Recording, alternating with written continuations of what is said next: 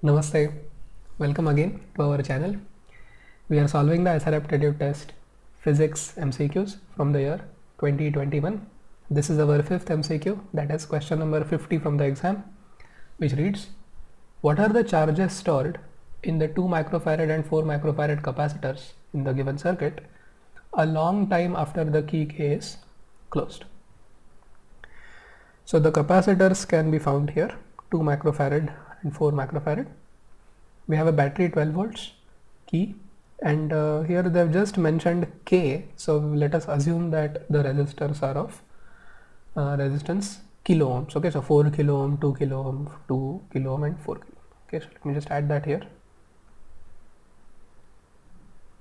Okay.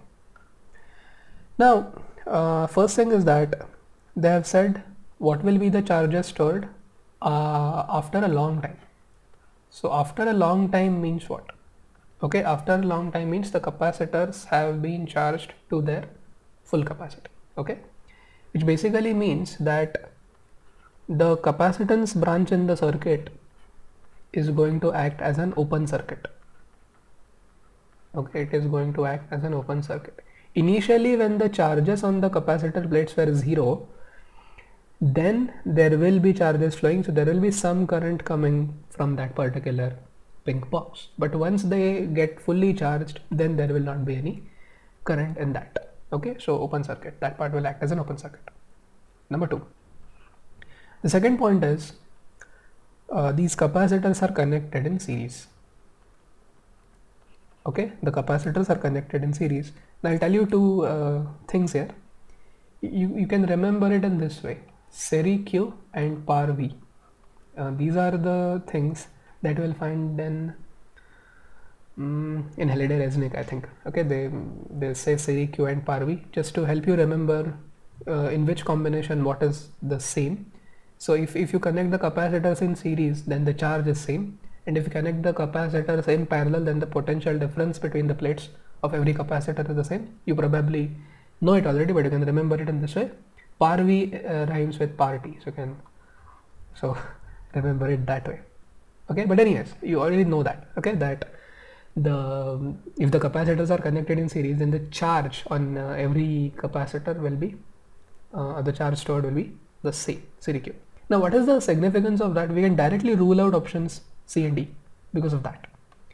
If the charges are same on well on capacitors connected in series c and d cannot be right because here the charges are different 16 by 3 8 by 3 16 by 3 8 by 3 so it is either a or b. Had b or a one of them being uh, different unequal then we would have directly got the answer without solving the problem.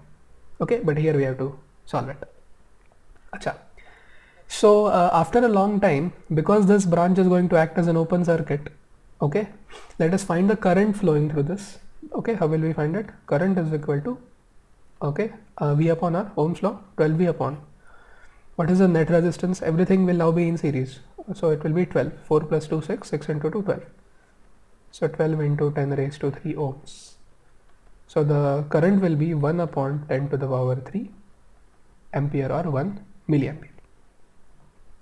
Now we would uh, so we are interested in now determining the potential difference across the two ends of this uh, particular branch of the circuit. So let us call them p and q and let us apply a loop rule.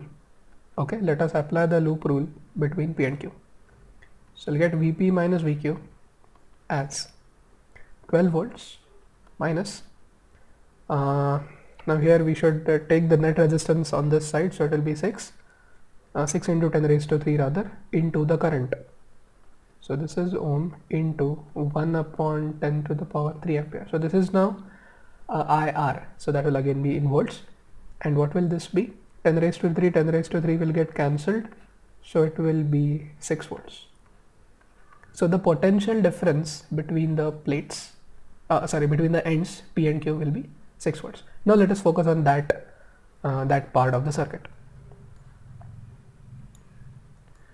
let's focus on that part of the circuit. Okay? Vpq is is 6 volts. Okay. Now because the uh, capacitors are in series the charges will be same but the potential differences or drops will get added.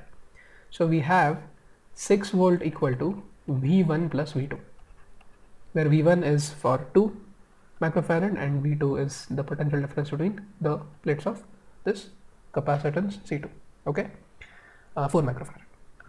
And we also know this formula. What is it? C is equal to Q by V. Okay? So V will be Q by C. Right? V will be equal to Q by C. So V1 will be Q by C1 and V2 will be Q by C2 now th there is a possibility of confusion in any capacitance problem. And the reason is C is the symbol that we use for denoting a capacitor, capacitor or capacitance and C is also the SI unit, the symbol for charge. Charge is SI unit, so don't get confused. Okay, fine. So uh, 6 is equal to Q upon what is C1? Mm, now C1 is the capacitance of the first capacitor, that's 2 microfarad. Okay, that is 2 microfarad. And this is um, oh, C2 4 microfarad. Next, therefore, uh, 6 is equal to Q into bracket or we can take 10 raised to 6 right here. In the bracket we'll have 1 upon 2 plus 1 upon 4. What will that be? 1 upon 2 plus 1 upon 4? 3 by 4? Yes. So q will be equal to 6 into 10 raised to negative 6 into 4 by 3 6 by 3 2 2 into 4 8 so 8 microcoulomb will be the charge. On net charge on well not net charge charge stored in that capacitor. 8 microcoulomb so that is option a. That is option a Okay, so I th thought it was a lengthy problem because we had to find the current first, we had to apply the loop rule, and then finally we had to bring in the series combination formula. But otherwise it was a straightforward problem I would say, straightforward problem. 8 microcoulomb is the answer.